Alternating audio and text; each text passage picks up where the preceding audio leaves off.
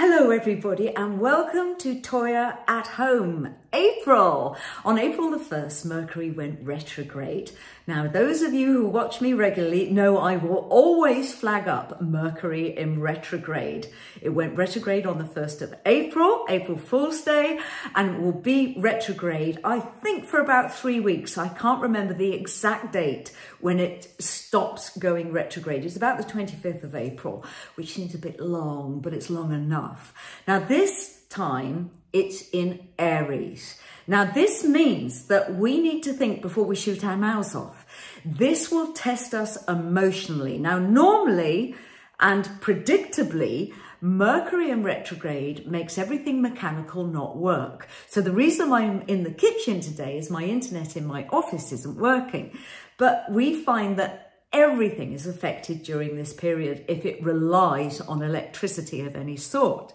But because we're in Aries, which is a fire sign, and it's a fiery time, and Aries are strong leaders, we need to think about what we say before we say it. That's just a little bit, a word of advice. We could word something that in print emotionally looks completely different to how we mean it. So we need to check meaning. Those accidents happen all the time, but they could happen even more. So read your emails, proofread, proofread your emails. And also, if you're going to declare your undying love for someone, really make sure you want to declare your undying love for someone and know who you're getting back in return. Um, and just ride through it. Now, normally Mercury in return is a great time to contact your inner self. It's a deeply spiritual time. I keep telling myself that with every frustration, frustration I suffer hourly um, because I really dislike Mercury in retrograde. Um, but look it up. There's some fantastic forums on the internet, some great newspaper cuttings. Um, you've got The Cut, which is a New York blog. It's astrology, but it's fantastic. It's really clear. And what I love about the fact it's from New York, it really is about the intensity of communication because New York is so crowded. And when you're in crowded environments, things behave differently. So I am getting ready with the team for the unveiling. Now, this is my original copy of Warrior Rock and it's coming out very, very soon in May. Um, but we are going to be unveiling the actual package, hopefully within um, a few days. So this is the original copy. It's been remastered, re-released with extra unheard tracks. And I found my double CD. I mean, isn't this fantastic? This is so cute. What I love about packaging in the 80s, so you got two CDs and I remember one was red, one was yellow. It's fabulous. And here, we were so excited about the plastic cassette. Let's see, yeah, purple inside. Now that's original. What you're getting is um, slightly transparent green vinyl. Now, what's really exciting me in the house this week is Robert is going through my past catalogue and he's going through the Toyah catalogue to see what he wants to play in the set of Toyah and Robert, the summer festivals. Now, this is really interesting because I can Sincerely say my husband hasn't got a clue about anything I've done in the past. It's extraordinary, and I don't mean that as an insult. He just doesn't know what I've done in the past. He is very, very involved in his own career path and his own music.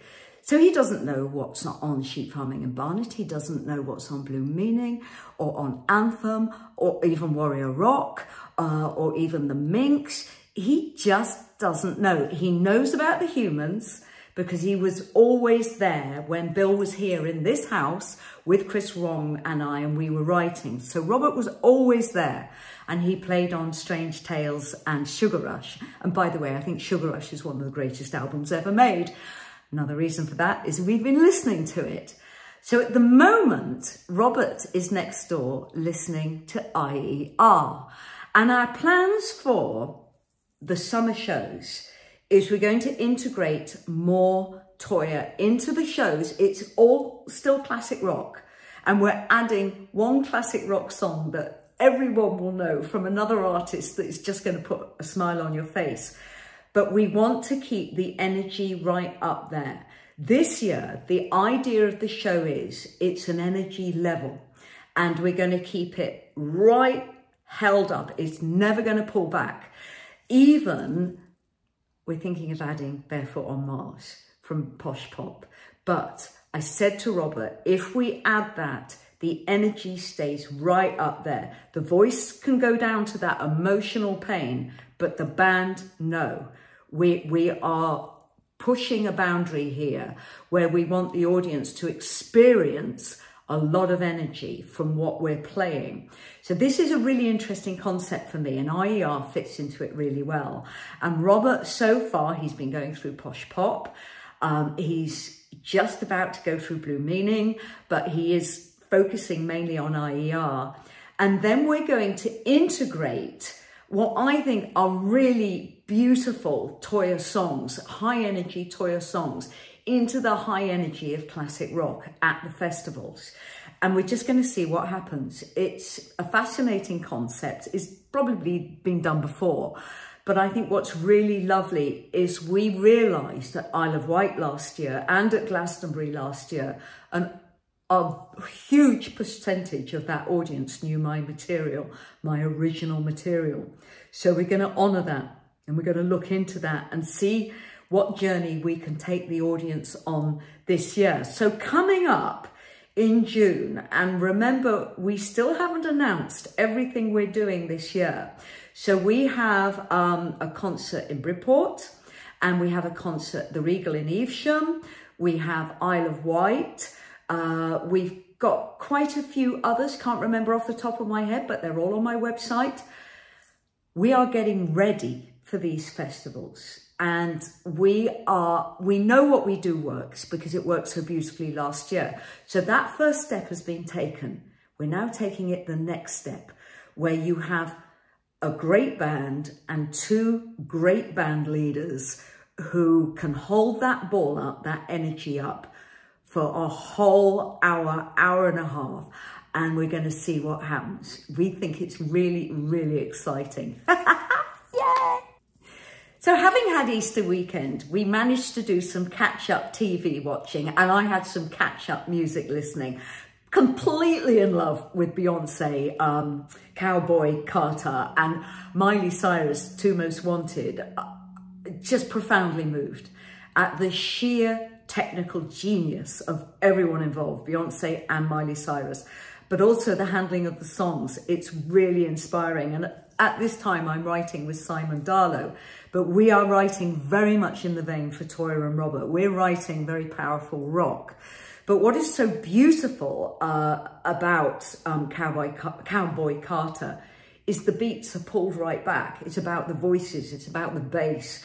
And I, I find that really interesting because they give the impression of drum power, but they're for me, the, the drums aren't dominating these beautiful voices, uh, which is something I've been a little bit passionate about for quite a few decades.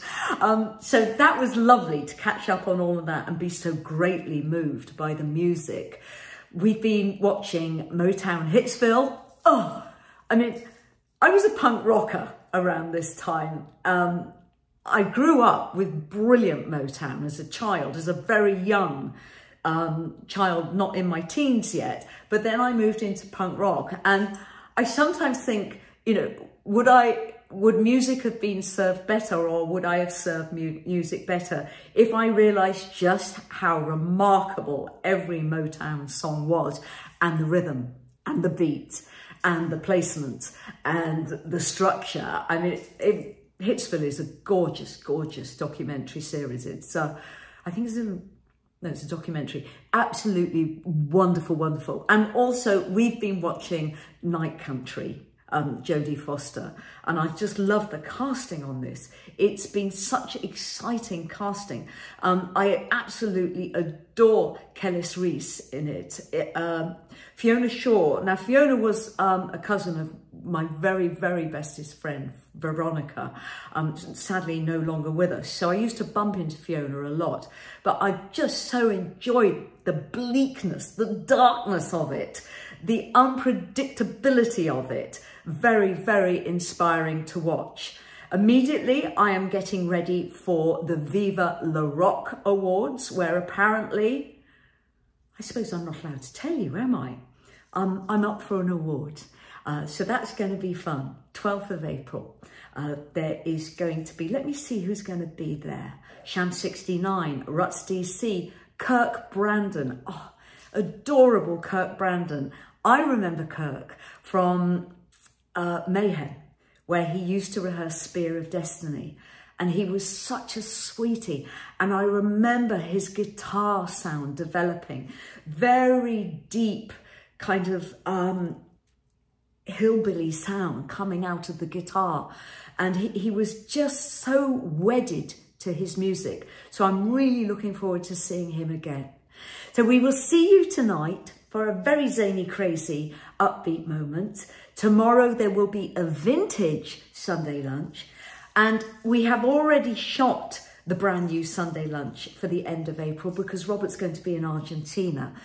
April is absolutely flat out. We are going out in celebration of Warrior Rock. We're going out with the utterly brilliant War Boys with Simon Phillips on drums, and this was performed live at the Beat Club in Germany in 1982. Enjoy! Lots of love from Toyah. This one is called The War Boys.